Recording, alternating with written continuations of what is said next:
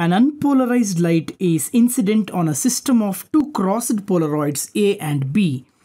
Now, the second polaroid B is rotated by 30 degree towards A. The percentage of light transmitted through the system is options A 50%, B 30%, C 25% and D 12.5%. Now when you consider a system of two polaroids,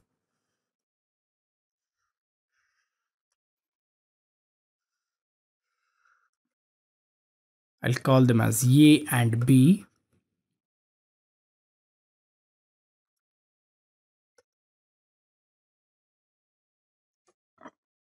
Initially, they are crossed with respect to each other, which means the angle between them was 90 degree, but later on the second Polaroid is turned through an angle 30 degree and now the angle between A and B has changed from 90 to 90 minus 30 so the angle now is 90 minus 30 therefore it is 60 degree. Now the angle between polarizer and analyzer is 60 degree. That is the data given. Now what are we supposed to find out is of course unpolarized light is incident on a.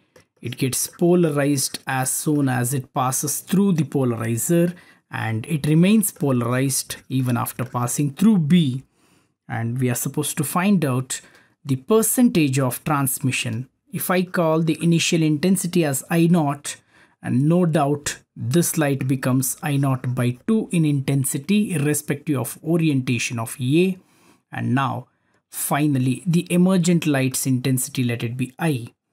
So using Malus law once again you can write i is equal to i naught by 2 into cos square theta. So this is i naught by 2 into cos square 60 degree. Cos 60 is half.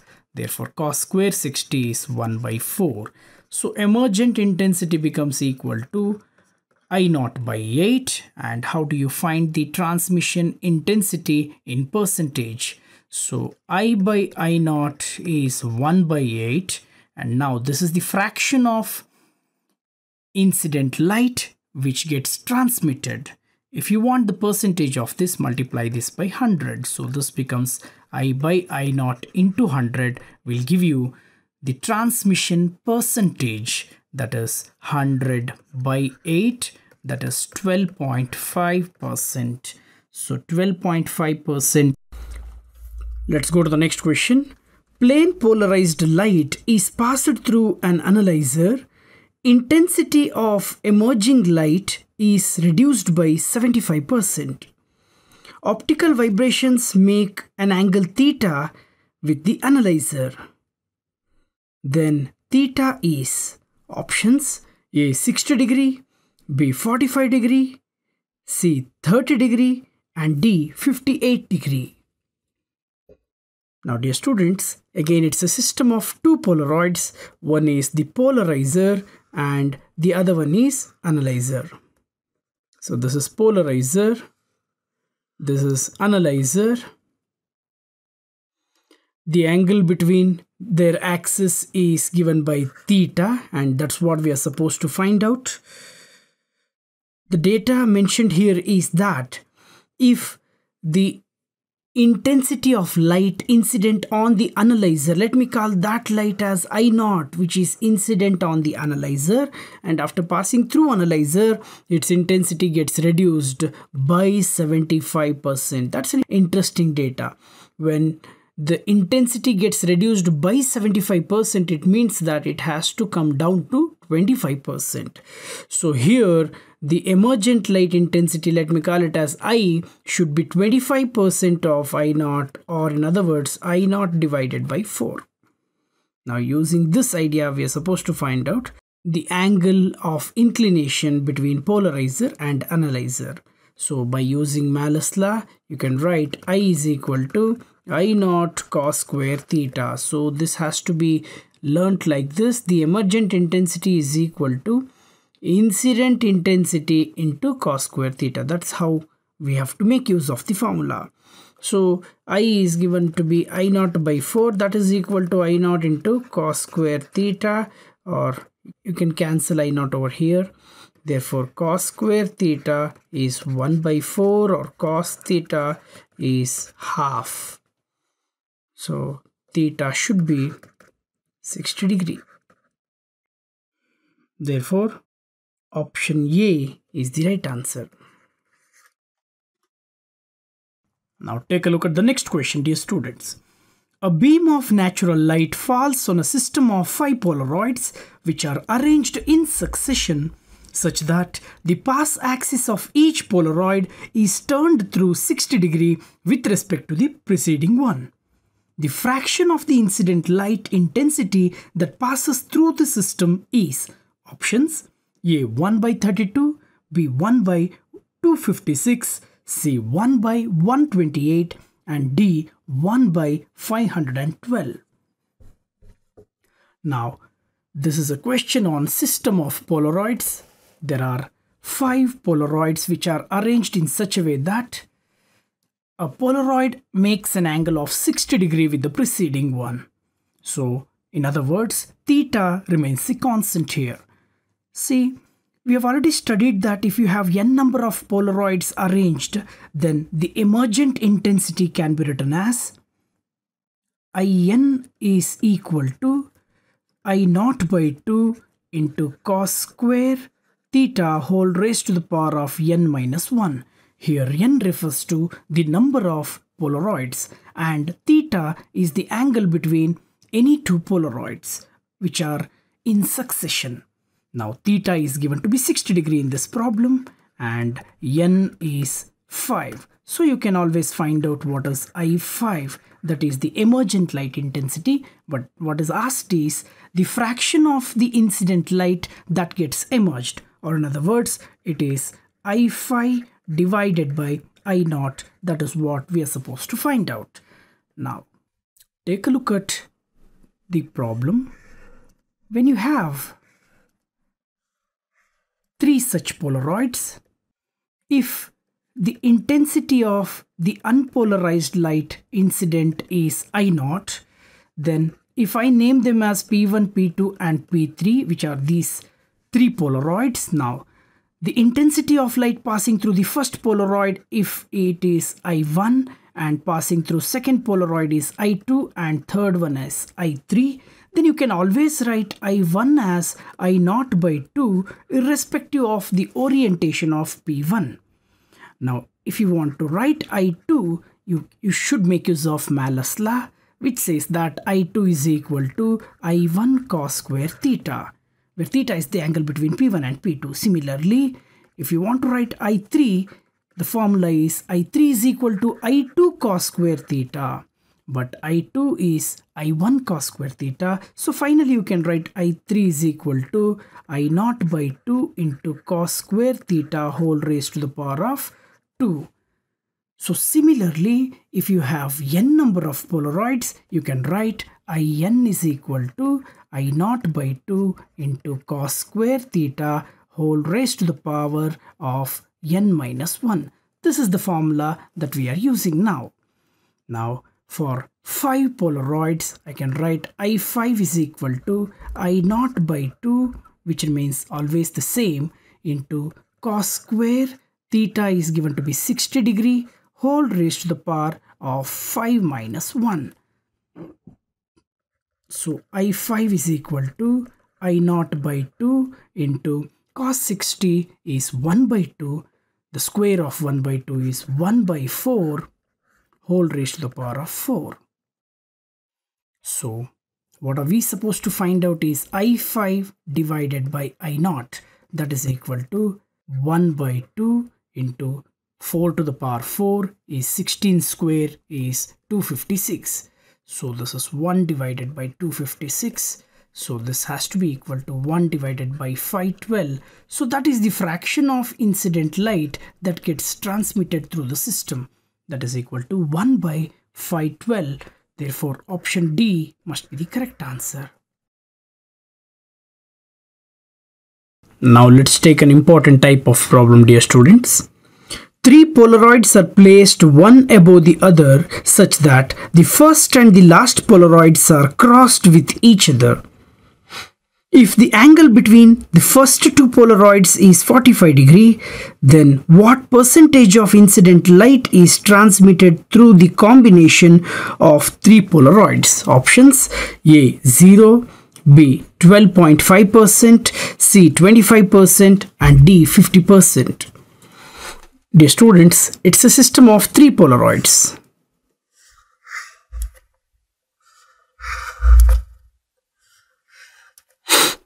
If you call them as P1, P2 and P3, let me incident light on the first Polaroid. Let the intensity of the incident light be I naught. Obviously it is unpolarized. Now after passing through the first Polaroid, this light of intensity I naught gets polarized and will be of the intensity I1 which is equal to I naught by 2. Now after passing through P2, let the intensity be I2 and finally after passing through the third Polaroid, let the emergent intensity be I3.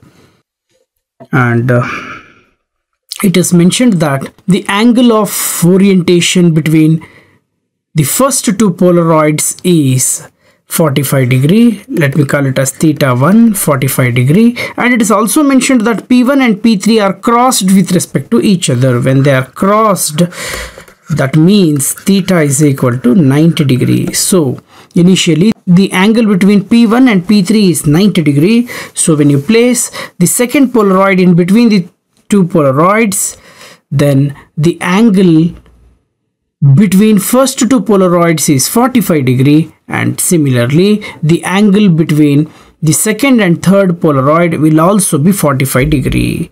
So let me write that as theta 2 which is 45 degree.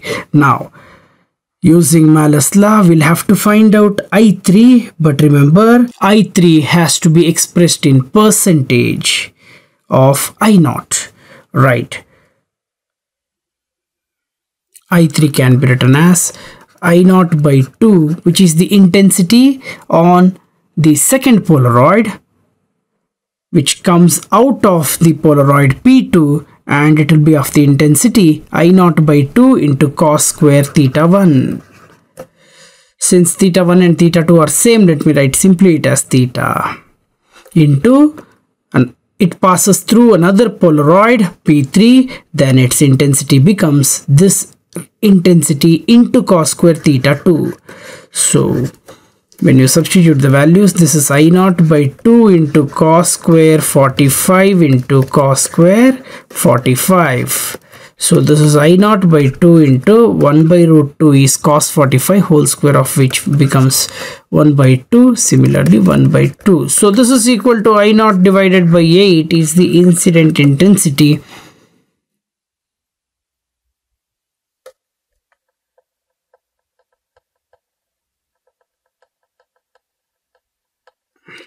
So this becomes I naught by 8 and that is the final emergent intensity I3. But the question is what percentage of incident light gets emerged.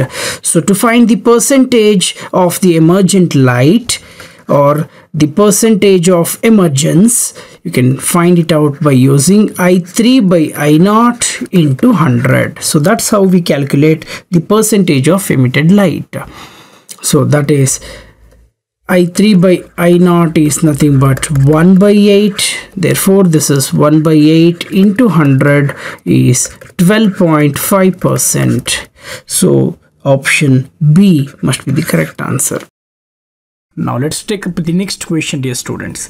Two polaroids are placed in the path of unpolarized beam of intensity i naught such that no light is emitted from the second polaroid if the third Polaroid whose polarization axis makes an angle theta with that of first Polaroid is placed between these two Polaroids, then the intensity of light emerging from the last Polaroid will be options A. I naught by 8 sine square 2 theta B. I naught by 4 sine square 2 theta C. I naught by 2 cos power 4 theta and D I naught cos power 4 theta. Now, in the system, there are initially two Polaroids kept such that no light comes out of the second Polaroid. What does it mean?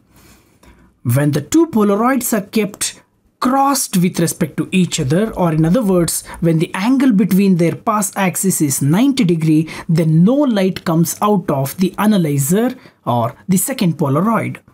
So initially it is mentioned that the angle between the two Polaroids is 90 degree. And now if the third Polaroid is kept in between these two Polaroids then there is some transmission and the transmission intensity is supposed to be found out. Now let's write down the initial condition. Now the angle between P1 and P3 is 90 degree. The angle between P1 and P2 is theta. Therefore, the angle between P2 and P3 should be 90 minus theta. Now, by making use of Malus law, you can write I2 is equal to I1 cos square theta. Similarly, I3 can be written as I2 into cos square 90 minus theta. Now in place of I2 I'll substitute that is I1 cos square theta into cos square 90 minus theta. I1 can be written as I0 by 2 as we have already discussed into cos square theta into cos of 90 minus theta is sine theta and there is square for this. So this is sine square theta. So this is our I3 that is the emergent intensity.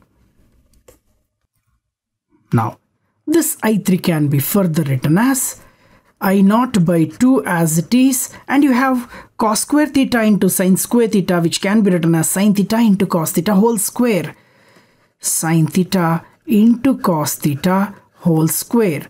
Sin theta into cos theta can be written as sine 2 theta when you multiply and divide the same by 2. So have a look at this. This is I naught by 2 into inside the bracket I have sine theta into cos theta which I'll write it as 2 sine theta into cos theta divided by 2 and of course there is a square so this is equal to I naught by 2 into 2 sine theta into cos theta is sine 2 theta divided by 2 there is square as well. So I3 is equal to I naught by 2 into sine square 2 theta divided by 4. So simplification I3 is equal to I naught by 8 into sine square 2 theta which is the emergent light intensity. So this is given in option A. Therefore option A is the correct answer.